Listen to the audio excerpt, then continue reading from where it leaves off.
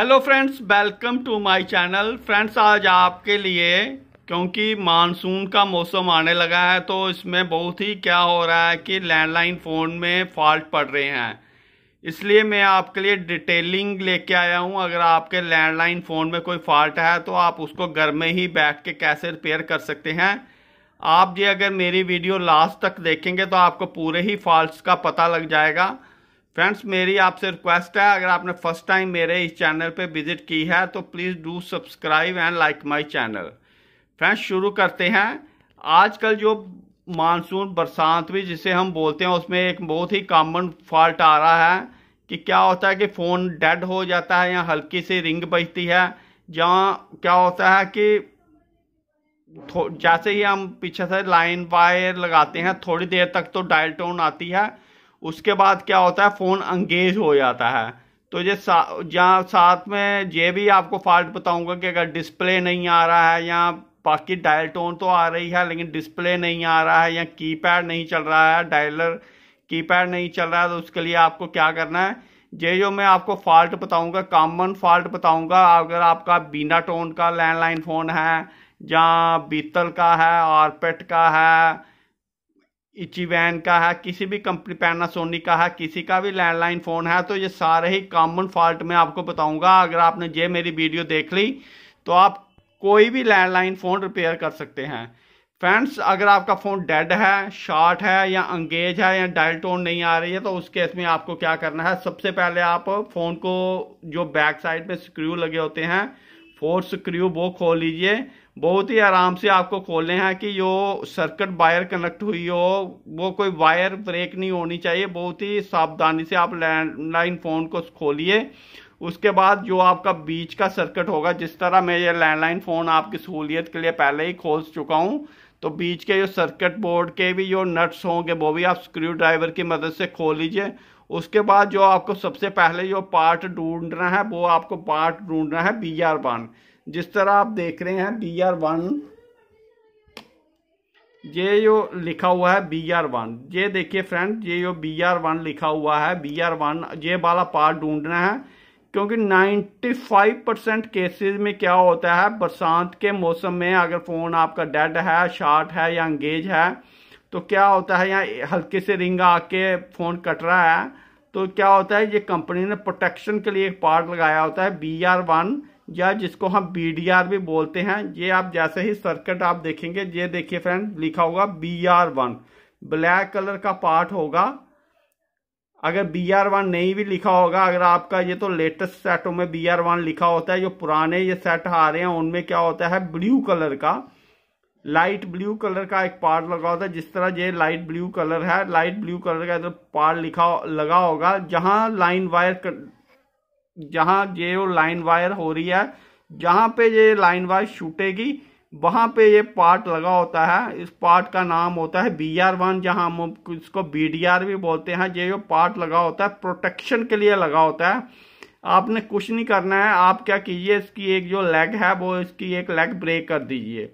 जहाँ से आप इसके एक लेग कटर की मदद से या किसी किसी भी चीज़ से जिसे आप काट सकें तो आप इसकी एक जो लेग है वो काट दीजिए। उसके बाद आप देखेंगे कि आपका जो फॉल्ट है वो रिमूव हो गया। बहुत ही फ्रेंड्स का क्वेश्चन होगा कि अगर हम सर्कट से एक पार्ट ही काट देंगे, फिर भी ये सेट कैसा चलता रहेगा? फ्रेंड्स ऐसा कुछ नहीं है। ये जो पार्ट बी डी आर जिसको हम बोलते हैं बी आर वन जहाँ लाइन वायर ख़त्म होती हैं, वहाँ पे लगा होता है।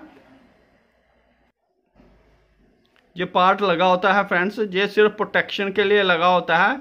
अगर आप कंपनी ने ये लगाया होता है कि अगर कोई बाहर से कोई सर्किट हो जाए एक्सेस वोल्टेज आ जाए तो सिर्फ़ यही पार्ट शार्ट हो, लेकिन बाकी जो जो सर्किट है, वो हमारा जो है, वो बच जाए।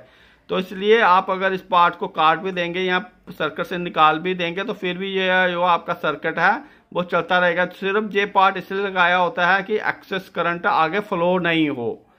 तो उसके, अगर आपने जे वाला पार्ट रिमूव कर दिया, फिर भी आप देख रहे हैं कि अगर फॉल्ट आपका रिमूव नहीं हुआ, उसके बाद आपको क्या ढूंढना है? जिस तरह ये शीशे के लगे हुए हैं ग्लास के लगे हुए हैं उसके बाद आपने क्या करना है? Z one Z two Z three Z four zener diode ढूँढने हैं। जिस तरह ये जहाँ पे लिखा होगा, ये जिस तरह जेड सेवन लिखा हुआ है तो इसको आप ओपन कर सकते हैं। जितने भी सर्किट में बो सर्कल बोर्ड में लगे हुए हैं Z one Z two Z three वो आपको क्या करना है? ओपन कर देने हैं।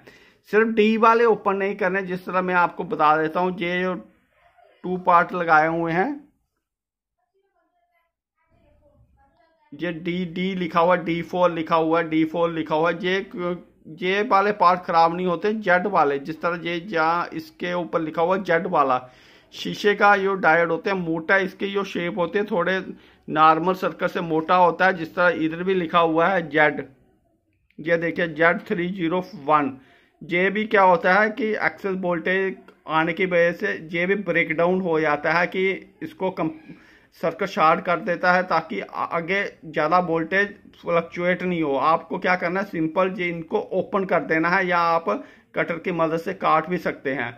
सबसे पहले आपको बी रिमूव करना है। अगर बीडीआर के बाद भी अगर आपका फॉल्ट नहीं आ, अगर आपके सेट में रिंग नहीं आ रही है तो उस केस में भी आप ये फॉल्ट अप्लाई कर सकते हैं। आपको क्या करना है? जेड वन जैसा जेड थ्री ज़ीरो वन लिखा हुआ है, आपको क्या करना है? इसको आप ओपन कर दीजिए तो उसके बाद आप देखेंगे कि आपका जो सर्किट है वो ओके हो जाएगा।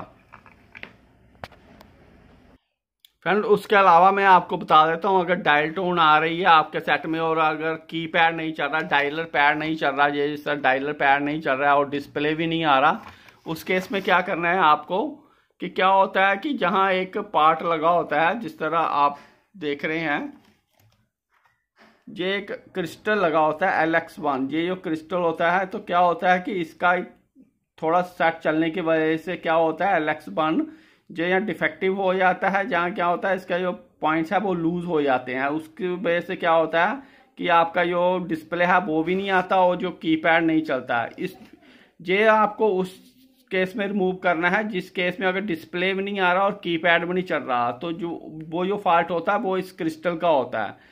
तो बहुत केसों में देखा गया है कि डिस्प्ले तो चलता है, लेकिन आगे कीपैड बरसात का मौसम अभी चल रहा है मानसून का मौसम चल रहा है, लेकिन नीचे का जो कीपैड है, वो नहीं चल रहा होता। आपको क्या करना है, इसके स्क्रू ड्राइवर आप ये, जो नट्स लगे हुए हैं, आप नट्स खोल लीजिए।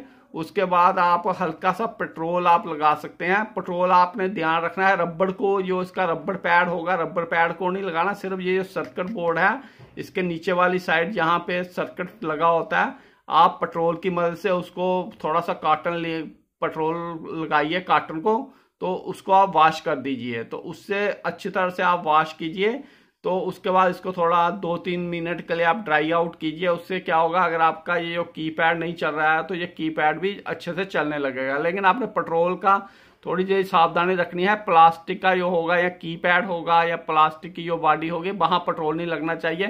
सिर्फ़ ये जो ये हार्ड मटेरियल होता है जो बोर्ड होता है, आप इसको पेट्रोल से साफ़ कर सकते हैं। इसके अलावा ये जो नीचे वाला सर्किट है, इस बरसात के मौसम में इसमें इसमें भी मॉइस्चर आ जाता है तो आप इसको इसको भी ब्रश को आप हल्का सा पेट्रोल लगा के इसको, इनके भी जो सारे पार्ट हैं, वो भी आप वॉश आउट कर सकते हैं पेट्रोल की मदद से। फ्रेंड्स होप करता हूँ ज़्यादा से ज़्यादा मैंने आपको फॉल्ट बताने की कोशिश की है। फिर भी अगर कोई फॉल्ट रह गए हैं तो आप मुझे कमेंट बॉक्स में कमेंट करके पूछ सकते हैं। अगर आपने फ़र्स्ट टाइम मेरे चैनल पर विज़िट की है तो please do subscribe and like my channel thank you very much